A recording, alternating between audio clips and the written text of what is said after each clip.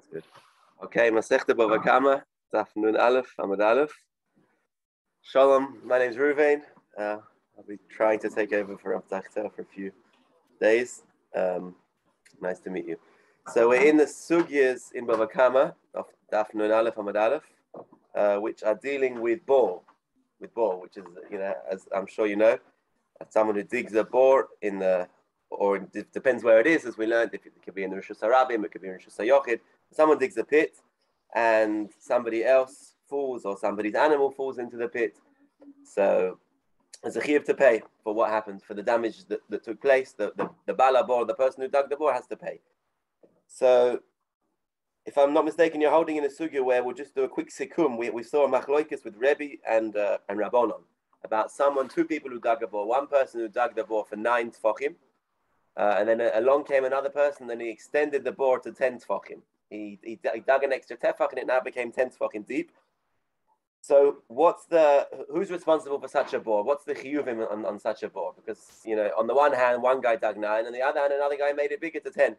So, um, so who, who's chayiv? So the Rabbanon, the Rabbanon held, the Rabbanon Shita was you always go after the last guy. The last person who dug it, if Reuven dug nine and Shimon dug the tenth tefach, so Shimon's always going to be the one that's chayiv. Doesn't matter whether, the, if, if we'll say, for example, an animal fell in, if the animal got damaged, he broke his leg or something like this, then that's called nazikin and you'll pay for that. And if the animal died, which is misa, then the achron, the, the sheni, Shimon, we said, would always would always pay for that according to the Rabbanon Shita. Just as one more aside, I'm sure you will know, uh, the chiyuv for bor, if the animal dies in it, is only if the bor is 10 tfachim. If the bor is less than 10 tefachim, then um, then there'll be no chi of misa. There'll be no there'll be no uh, for someone to pay if um, if the animal died. But if it if it got damaged, they would. So according to Rabbanon Shita, we always say the last guy is chayv, the second guy, and according to Rebbe, it depends. When it comes to Nazikin, if the animal fell in and got damaged, broke his leg or something, then both of them pay.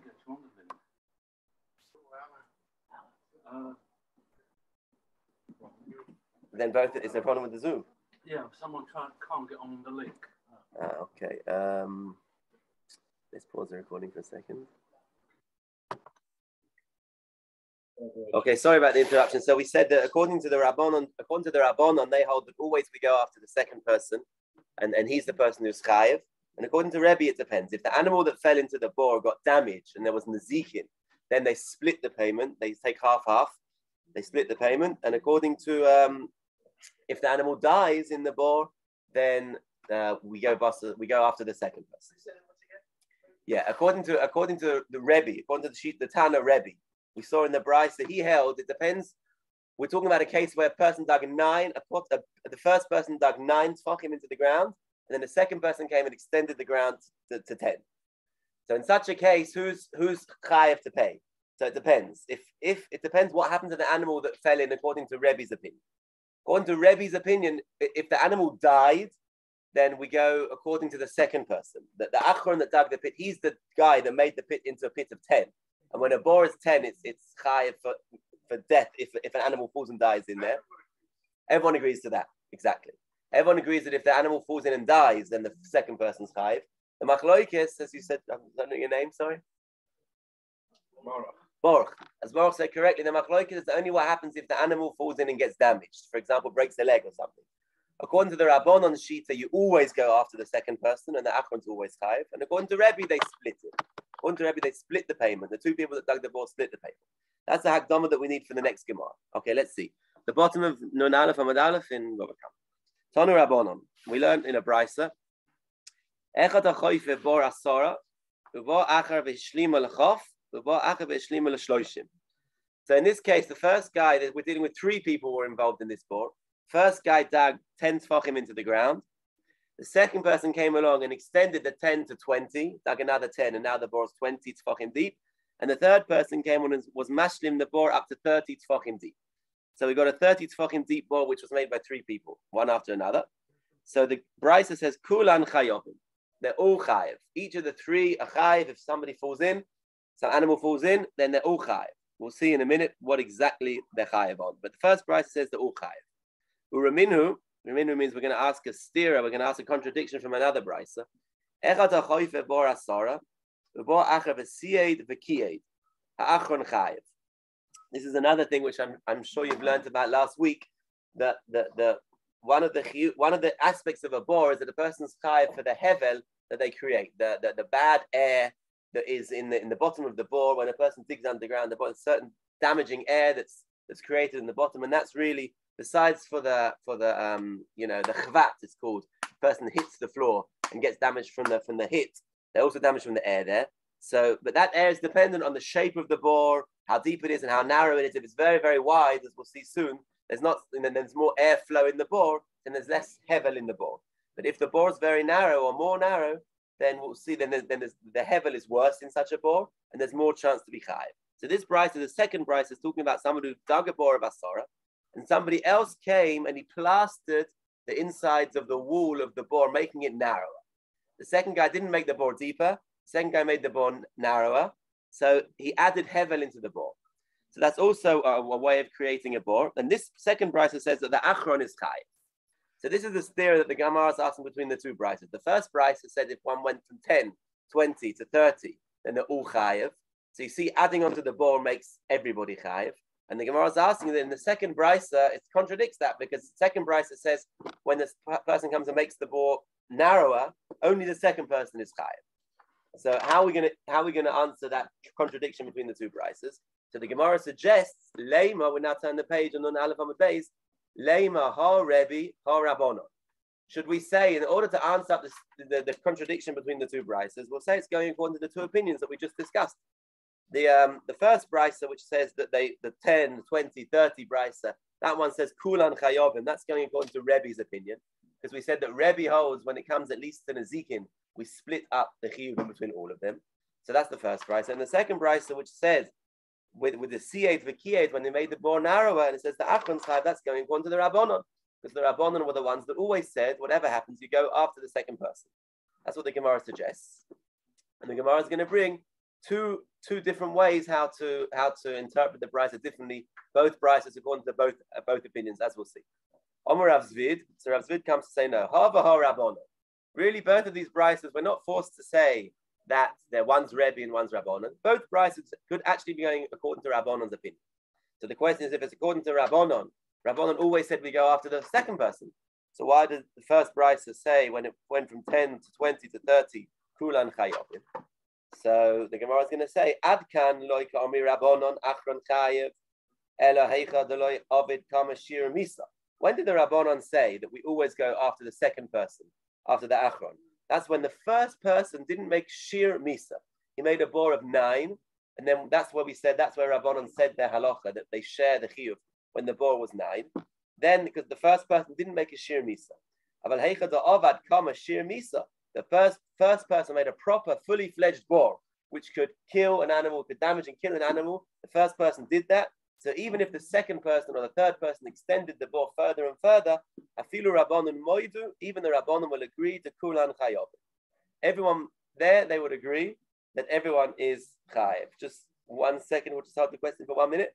Um, in the case where the first person made a fully fledged bore for me, so then they agree. So on that, the Gemara asks, we'll just see two more lines before. V'hasied v'kiyed. The ka'avid kama shir misa v'katani ha'achron chayev. The Gemara asks, with the second brisa which you brought, which was talking about a guy who dug a bore of 10, and then he made it narrower, and then further narrower, and that brisa we said that the achron is chayev, right? That was the second brisa we saw. So the Gemara is asking straight away on that. How can you say the Rabbanon agree when the first person build, builds, digs a bore of 10? The second brisa was dealing with the case where the first person built a bore of 10 and the second person made it narrower and narrower. We, even though the first person made a shir misa, we still say that the achron is chai. That's what the Gemara asks. The Gemara answers, Amri Hasam shaloi haya boy hevel lemisa, bo achava bo hevel lemisa. In that case of the second brisa, there was no hevel for misa at all. In other words, the bore was so wide that there was no hevel in the bore. There was enough airspace that there was no hevel in the bore. Um, and we, I think Rashi says that we're not talking about the chiyuv for the chavat over here. We're going with the opinion that holds that, that, that, that only because of hevel yochayev, or alternatively, the bore is filled up with. I think you also might have seen it in, in the Gemara above. If it's with a cushion there, then you won't get a damage from the actual hit, but you will get damage from the bad air. in any event, the second Bryce is talking about a case where there was no hevel before. The first person dug a bore which was so wide and so full of airflow that there was no hevel there, so he's not responsible. So the second person who comes and made it narrower by plastering the walls and narrower, he added the hevel, so he is the person who is chayiv. So just to, to, to, to, give a summary, then we'll take the questions. The answer, the first answer of Rav Zvid of the two brises is they're both going according to the Rabbanon's opinion. They're both both brises are going according to the Rabbanon. The Rabbanon, even though they hold when the bore goes from nine to ten, so then they split the chiyuvim. But if the if the first person digs the bore of ten, that's a bore which is a fully fledged bore with all chiyuvim of misa. Then even if somebody extends it, then they will split the chiyuvim.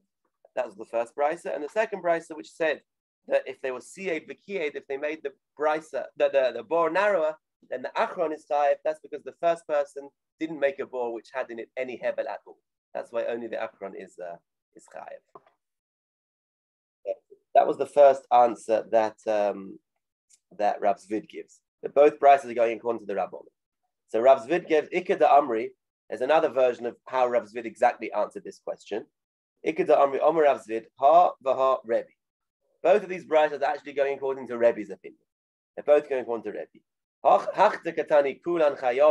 The first brisa which said, which was 10, 20, 30, that brisa which says kulan chayovin shapir, right? That makes sense. Uh, that makes sense, that brisa, because according to the Rabbon, according to Rebbe's opinion, you split it when it comes to Nezikin, you split it three ways. So that brisa is good. The second brisa which said with the with the case of the where it was narrowing the bow. It said the achron chayiv kagoin shaloy hoya boy hevel loy lemisa veloy nezakim. Similar to what we said above, there was no hevel in the bore at all, not for misa and not for nezakim. The bore was so wide, so airy, there was no hevel there. And then ubo acher v'hoisik bo hevel bein lemisa bein lenezakim. So then um, the second guy added in added, made it made an arrow, and he made the heaven also for Misa and also for Nizakin. So there, Rebbe agrees. That's what we said. Rebbe only says we split it if the first bore had in it some sort of hevel and it was damaging. But if the first bore was completely without hevel, then uh, then he agrees that achron is high. So just to, just to, just to uh, clarify the, the two brises over here. The question the Gemara was how do we resolve the two brises, which seem to contradict each other, whether everybody's chayiv or whether only the last person's chayiv. Whereas the 10, 20, 30 brisa, everyone's chayiv. That was bryce, the first bryce, and the second brisa, where the second guy made the bore narrower we said that only the second person is chayiv. So according to the first version of Rav Zvid, they're both going with the Rabbanon Shita. The Rabbanon are always the ones, we thought, anyway, we're always the ones that go and say the Achron is chayiv. But the Gemara is saying a Chiddush that the Rabbanon agree. If the first person made a bore of 10, then it splits all the way along. That's the first answer. And the second answer is both brises could go could be going according to Rebbe. So the first price which says it splits is very good because Rebbe's opinion is at least in Nezikin we split it. Uh, and the second brisa, which says when they made the bore narrower, that's because the bore in the beginning he had no hevel. So therefore, the first person cannot be responsible because he, he didn't make a bore with any hevel. So it makes sense that Achron is chai. Good. Okay, now let's see the next Gemara. Omar Rava. It's about uh, 10, lines, 10 lines down from the beginning, something like that. Omar Rava. Hiniach even al pi If a person comes along and he sees a bore in front of him of 10 tfachim, 9 tfachim, excuse me, the bore is nine tefachim. The first person dug a bore of nine tefachim, and he left it like that. And along comes the second person, and he doesn't dig in the bore and make the bore deeper from nine to ten. He takes a stone or several stones, and he, and he puts it around the the the sfasa bore, the the the, the board the the the how do you say it? The edges of the bore, edge, the edges of the pit, and he covers it. So he's in in, in, in, essence, he's doing the same thing as making it deeper. Because somebody who falls from the stone down is going to make a fall of 10 tefachim. But he doesn't do it in the actual pit. He does it on the top of the pit by, by extending the borders of the pit up by, by, by, by the stone all the way around. So on that, Rava tells us, in Niach Evan al Bor, Asara, and he was mashing it to Asara. So this is the bore going from 9 to 10, just not from the bottom, but from the top. We come into the machloikis, we're going to fall into the machloikis of, excuse the pun, of Rebbe and Rabbanon we saw about the Rebbe and Rabbanon argued when it went from nine to ten. So to over here, meaning according to Rabbanon, will always go after the second guy. The second guy who put the stone there, he's going to be the one that is chayiv. And according to Rebbe, it depends if the animal falls in there and dies, then the achron is going to be chayiv. And if the animal falls in there and is damaged, then they're going to split the chiyuv. The Gemara asked on Rava's Pshita. That's obvious. If we know that Rebbe and Rabbanon spoke about making a bore from 9 to 10, then what does it make a difference whether he digs it down from 9 to 10 on the bottom or whether he puts a stone around the edge and makes it from 9 to 10 at the top? It's obvious. And a Moira Rav is not going to tell us something which is obvious. We could deduce that ourselves from the Brisa where Rebbe and Rabbanon themselves spoke. So the Gemara says, Ma'u the same. It's not necessarily uh, obvious. It's not obvious. Ma'u the same. What would I have said?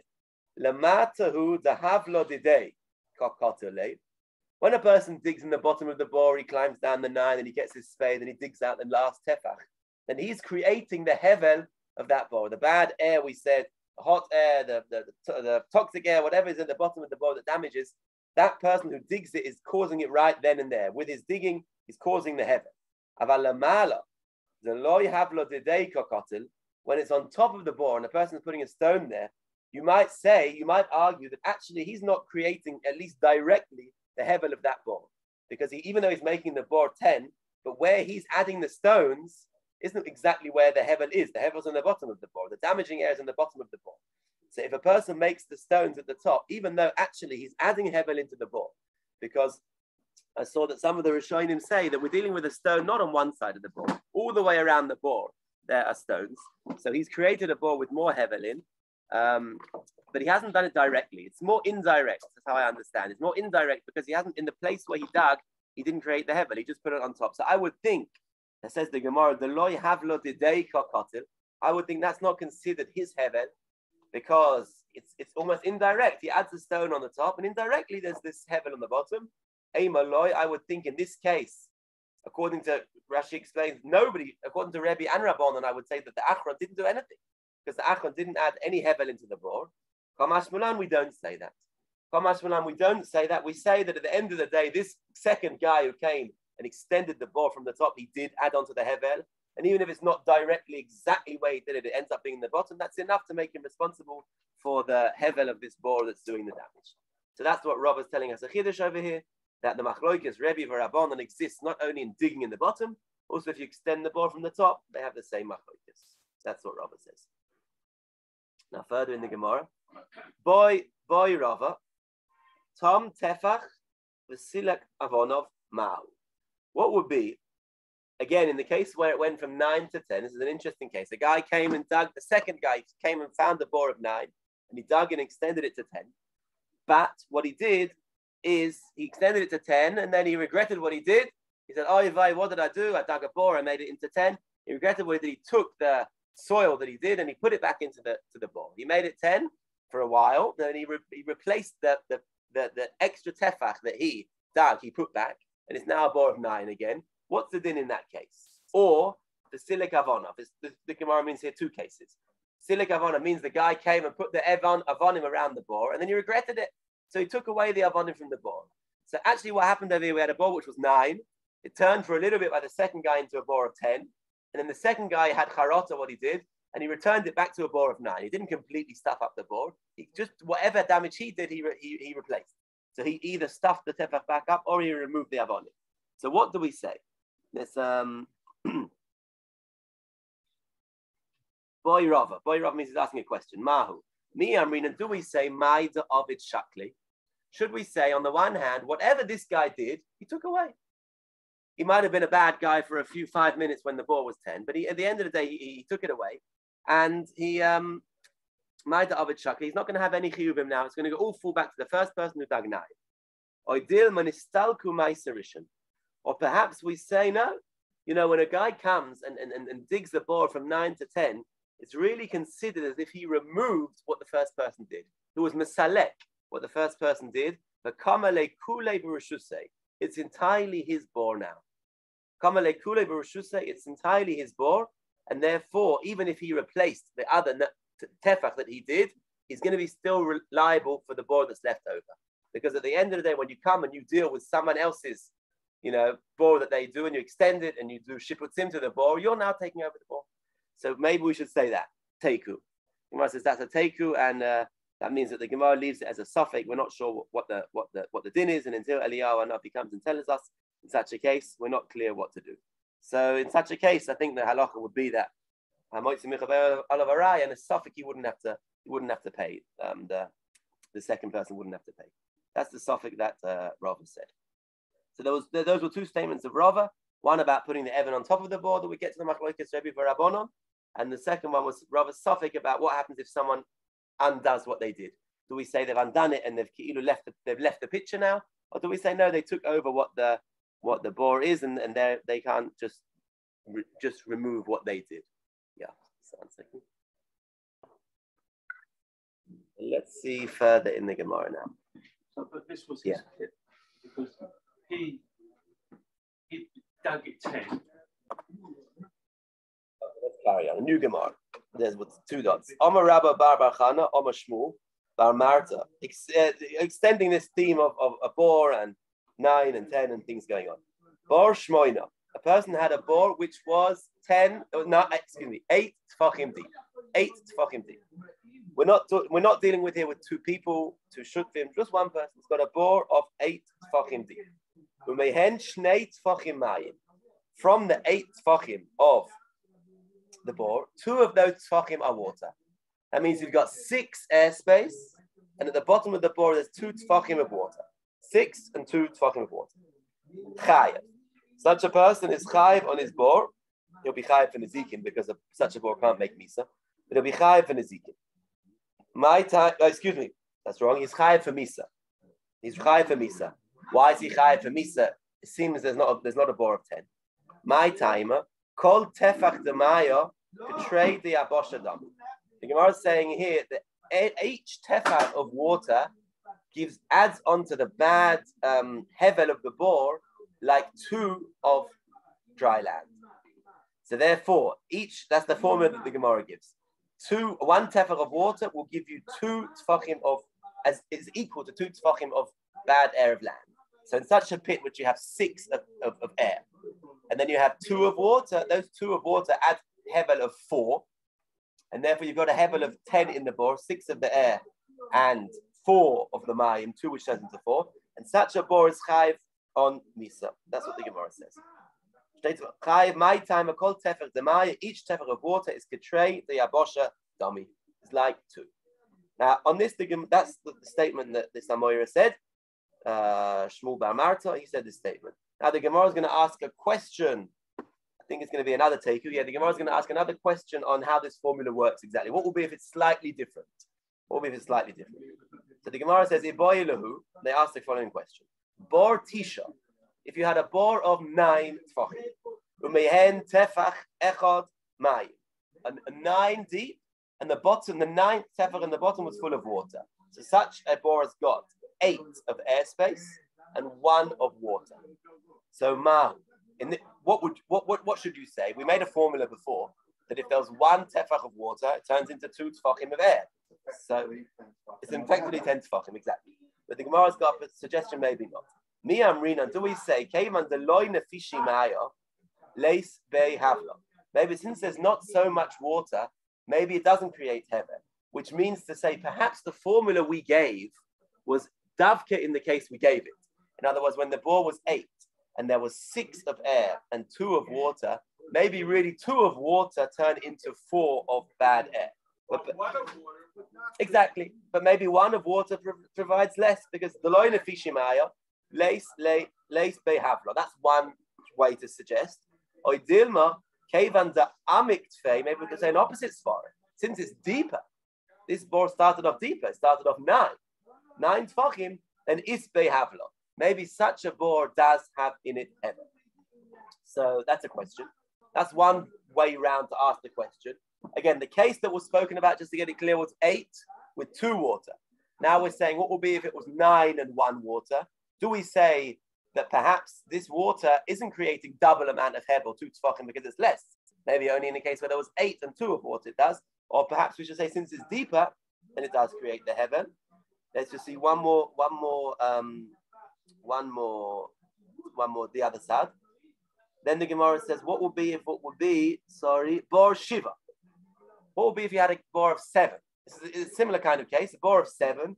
And of those seven, three of them are water. So when you have seven and three, so you have four of airspace and three of water, which doubles to be six. So four and six is ten. Maybe we should say such a case is also considered 10 tefachim and chayav on misa. Mahu. Mi amrin and kaven then a fishy mayim tfei isbei havlo. Should we say since there's a ton of water, three tefachim, for sure the formula would apply that three tefachim turn into six of like of air, and then you've got the four of airspace and the six of air makes ten. Or perhaps since this bore is not so deep at all, it started off only seven, such a bore is not going to have the formula because it's not deep enough to make that water turn into um, like hevel of airspace, teku. That's another suffix the Gemara says.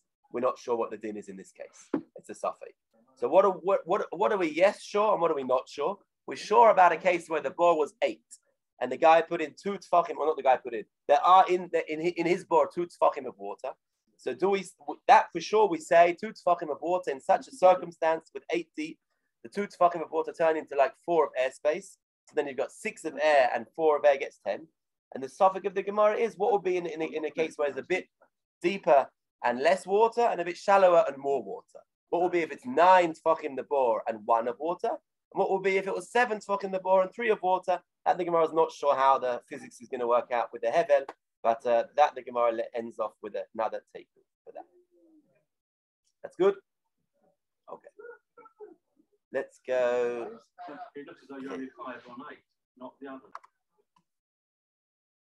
Boy mine Rav Shizvi Mirabo. He Rav Shizvi the Amoira asked the following question from Rabbo. Irchiva Mahu.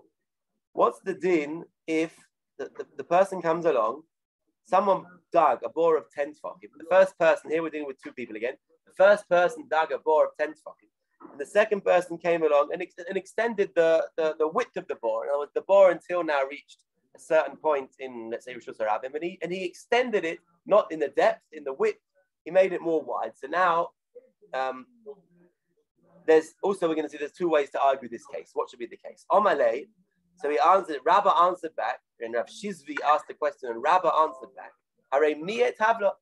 We know that the chiv of the bore is because of heaven, and he reduced the amount of heaven in this bore because now it's a wider bore. There's more air, there's more airflow. It's less damaging. There's less heaven, so he shouldn't be responsible.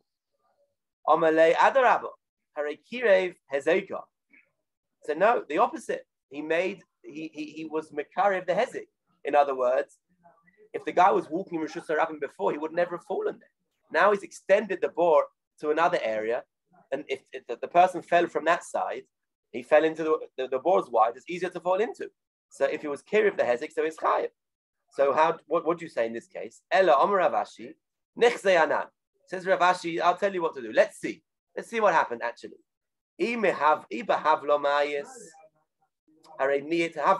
If this person who fell in, depends how what, how he got damaged.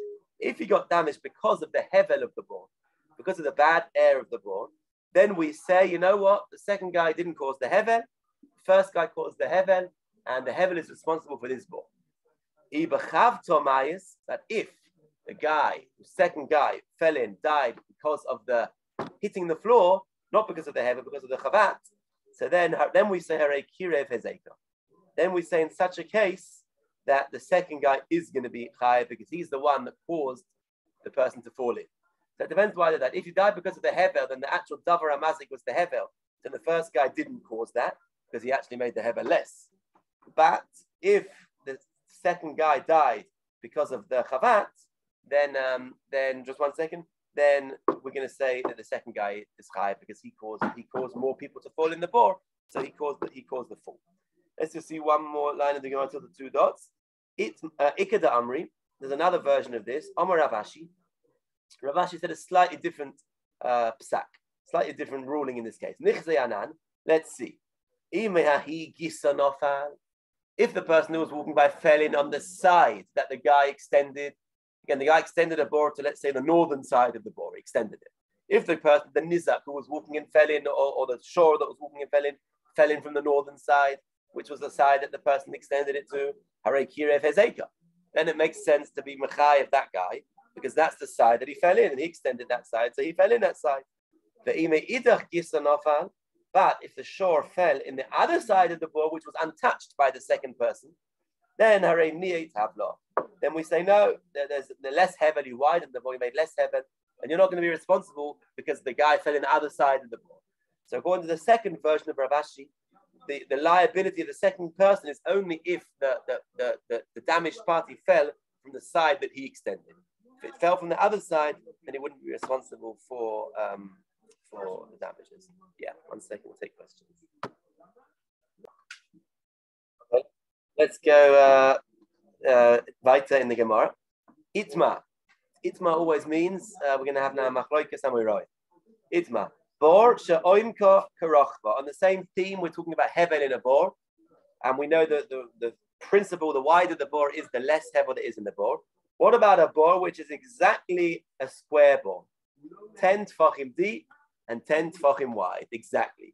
Bor she'oimka, its depth is karachba, its width. You have exactly a bore that's, wet, that's depth is equal to the width, 10 by 10. Does such a bore is considered that it has hevel or does not have hevel? Rabba Rav Yosef, the Omri Tarvayu, Mishmei, the Rabba Bar Bar Chana, the Amma Mishmei, the Rebbe Mani. Right? These Rabba Rav Yosef, they both said in the name of Rabba Bar Bar Chana, in the name of Rebbe Mani. They, they disputed what he said. Chad Oma. One said, this is a very technical, uh, we have to be very medaic in the words, exactly the difference over here. Chad yesh ba hevel. Always a bor has in it hevel. Ad yoser al. A bor's always got hevel, excuse me, until its width is more than its um, than its height. If the width is more than the height, then it does not have hevel. In other words, so according to this, according to this, a square bore will have hevel. Because a bore always has hevel unless it is more wide than it is deep. If it's equal, it's okay. It will still have hevel until it's more wide. A bore which is more wide, 11 wide and 10 deep, no hevel. But if it's exactly equal, it has hevel. So the first opinion is, is that it has hevel. hevel a bor does not have hevel in it. Al al A bor does not have hevel until it is deeper than it is wide. And until it's deeper than it's wide, it won't have hevel. So if it's exactly the same, it has not got hevel until it's more deep than it is wide. So that's so this opinion holds that it does not have hevel. So that's the machloikas of the Amoraim over here, whether or not exactly such a bor has hevel or not. So according to the first opinion, the bore is always going to have hevel until it's more wide than it's deep. So it's got hevel. It's chai for such a bore. And on the second opinion, it does not have hevel until it's deeper than it is wide. Those are the two different versions of the of the Amora. Fine. Oh. So now we'll go a little bit more weiter. now we're going to go into the, the, the Mishnah. If we take a look back at a second for the Mishnah, which was on Amud Aleph, Let's just go over. The Mishnah said, um, Bor shel shnei shutfin. The bor belonged to two partners. Over alav arishan v'loy kiso, v'sheni v'loy kiso, chay. Bor belongs to two people. I believe you saw in the previous year how exactly it could be a bor belongs to two people. Um, but the, the Gemara, I, I, think, assumed that the end of the Gemara was that they both dug the last tefach together and then they got a bore of shukrit. Anyway, the first person walks past it, sees that it's un- sees that it's uncovered. Then the second person walks past and sees it's uncovered. The second person is chayiv. That's what the Mishnah says. Now the Gemara is going to really discuss what circumstances the second person's chayiv, what circumstances the first person's chayiv. Let's see what the Gemara says. The Gemara asks a question: V'rishayin me'emas mifta. From when is the first person potter? It's quite an interesting halacha from the Mishnah. Why should the first person really be potter? He also dug the bore. He left it uncovered. Why should he be un, Why should he be potter? So we'll just see. Um, Rashi here explains. Rashi here explains. We see Rashi Verishan me'emas miftar. The nitoin alasheni haisa hashmira. When is the rishon going to be potter that we can claim that all responsibilities on the second person? The pshita lot is obvious, says Rashi, Tahani Ovar, the Katani Nissan, the Mishnah says Ovar, the first person walked past it, second person walked past it, right? Says Rashi, it's obvious that doesn't mean they literally walked past it. Must be that the Mishnah means the first person was using it. Nishtamesh ka'ama. The Ika the Katani Nissan, Sha'ovru Olav Shneim, Ze Achar Ze, Amai Rishon Potter, Harei Gamhu Posha. In other words, Rashi's saying that the, the Mishnah really makes not so much sense to say they both walked past it and left it. Because if the first person walked past and left it, of course he should also be responsible. So obviously that's what the Gemara is asking over here. How the Mishnah is saying the second person is responsible when they both left the bore uncovered. Why is that so? From when is he potter? Why, why is he potter? He from when is he well, from when is he potter? He also should be a, a, a party over here. So the Gemara says, Rabba Rav Yosef, the Amrit Avayu, Mishmei the Rabba Bar Bar. So Amma Mishmei the Rebbe Mani. Um, again, Rebbe Mani over here. Chad Oma Mishmenichoy Mishtamish. Chad Oma Mishayimsor Loy Dalyo. So there's not machloikas over here. From what point in time does the first person lose responsibility for the ball? So the first opinion holds as long as the second person is le- again, the first person was here with the ball and he left the scene. He left the scene and the second person's by the ball. When he leaves the scene, he, he does not have responsibility anymore. But in what case? According to the first opinion, if he leaves leaves the scene and the second person is mishtamish with the ball, the person's in the the second party is using the ball, he's drawing water from the ball, he's splashing in the ball, he's using the ball. So then the first person's got a right to leave. He doesn't have to cover the ball now because the second person's using it. He doesn't have to cover it when the second person's using it.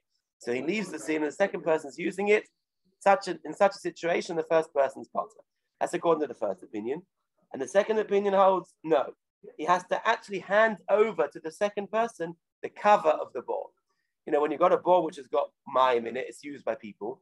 You know, we don't fill it up. In order to do shmira on the ball, just like you learned all about doing shmira on a shore, you have to lock it up properly. To do shmira on a ball, you cover it properly. So if the sec, when the first person left the scene, if he handed over to the second person the cover for the ball, that's the that's the that's the dalio. He, he um had covered over the kisui of the board to cover it, then he is exempt from, from, from damages. In other words, here the discussion is what does the first person have to do in order to absolve himself from damages when he leaves the scene? According to the first opinion, it's enough that he leaves the scene and the second person is mishtamish in the board. And the second opinion holds isn't that not enough? He has to actually hand over the kisui of the board and tell him, I'm leaving now, you better cover the board because you're going to now take over responsibility. Those are the two opinions over here in the Amorai. Um, so we'll, we'll, we'll continue the Gemara tomorrow, where the Gemara is going to discuss exactly the reasons behind these two opinions and we'll bring it. We'll bring a brisa and, and different opinions about that. So, uh, thank you very much.